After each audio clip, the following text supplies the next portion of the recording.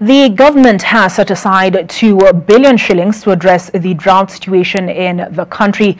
This comes as the National Drought Management Authority released data indicating that the current drought situation could worsen between August and December and hence the need for action.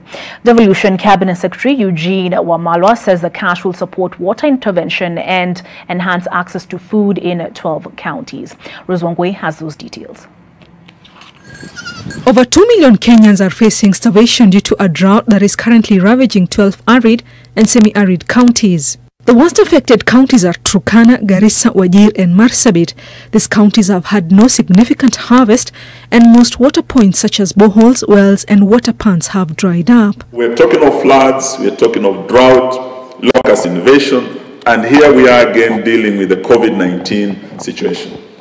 I can tell you that Kenya is indeed a very resilient country, but never has our resilience been tested to the extent that we've, we, we have been tested this time around.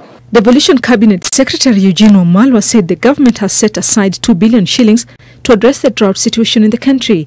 The Food and Agriculture Organization FAO has committed 400 million shillings and the European Union 500 million shillings towards assisting the vulnerable families through the provision of water. We'll have a percentage going to resilience and a percentage going to uh, response to ensure that we build resilience of these counties. A multi-agency team involving UN agencies has been set up to tackle the situation both at the national and county levels. We are looking at uh, issues of water, scarcity water, health, education. You know, it cuts across the sectors and all the line ministries have been uh, mobilized to be part of this uh, multi-agency team.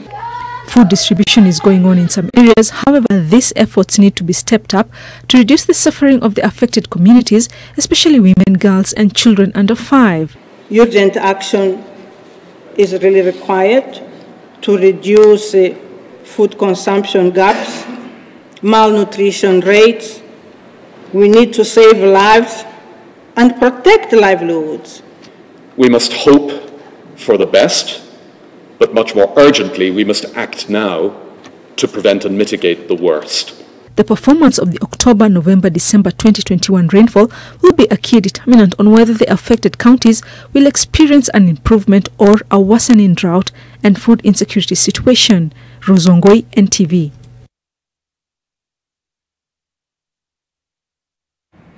NTV Tonight takes a break. I'll be back on the other side.